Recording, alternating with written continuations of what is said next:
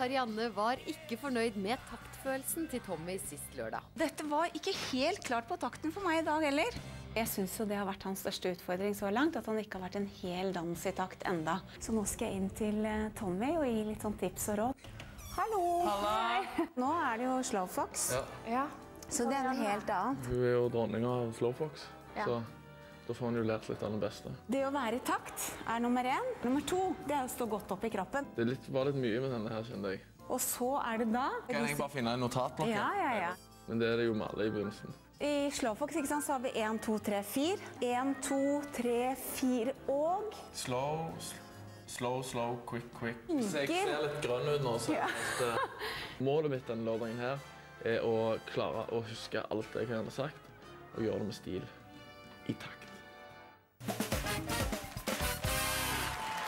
Tommy Fredvang og Rakel Kristina Olmo kommer til dansegulvet for sin Slowfox?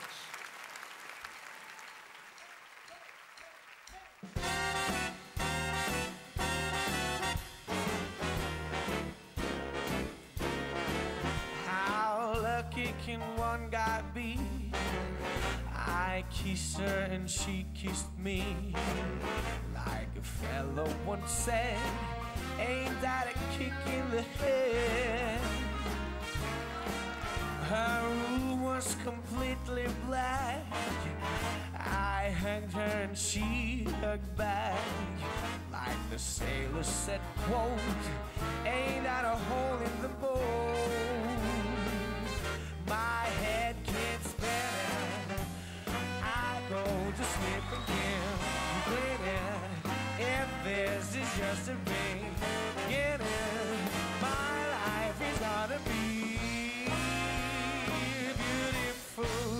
She's telling me we'll be wed. She picked out a king size bed. I couldn't be any better, or I'd be sick. Tell me quick, why ain't that a king? Tell me quick,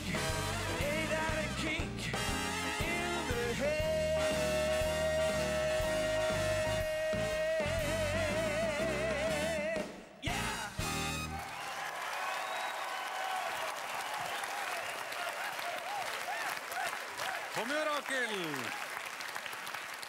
Karianne, nå var det vel i takt, vel? Ja, Du begynte i hvert fall veldig bra, Tommy. og Du, hadde, du begynte jo med basicen i Slowfox, og den synes jeg faktisk du klarte veldig bra. og Du starta i takt, og du kom et godt stykke på vei i takt. Og, og det skal du ha. Du jobber veldig veldig bra. Du prøver jo virkelig å få det til, og det, det er viktig. Kjempeviktig. Etter hvert så blir det litt mer sånn eh, ruskete. Men en veldig bra start, og bra jobba.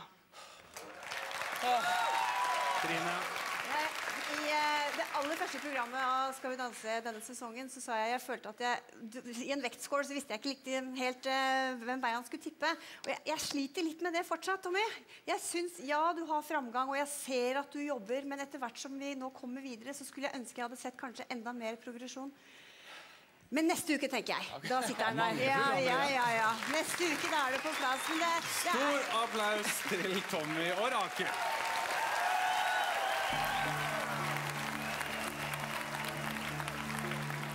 Jeg syns i hvert fall dette her var kjempefint. Jeg prøvde å se om han var i utakt, men jeg klarte ikke helt å se det. Men uh, er ikke jeg noen dansedommer.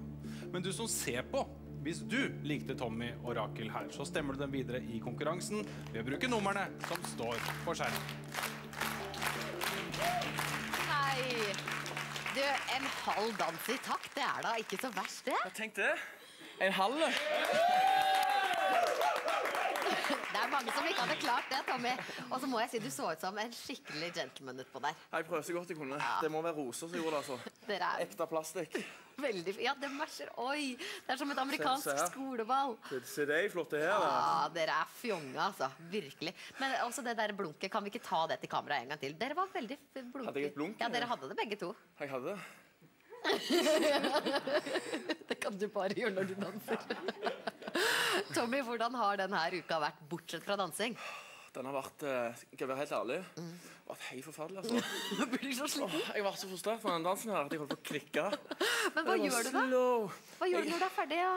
Liksom Da går jeg hjem, og så gjør jeg eh, eh, to ting. Ikke en shit, altså. Jeg setter meg i sofaen, og det blir jeg sittende, og så sitter jeg bare og er helt Folk ringer bare og har lyst til å bli med og finne på noe. Jeg høre. Nei. Jeg vil bare være litt for meg sjøl.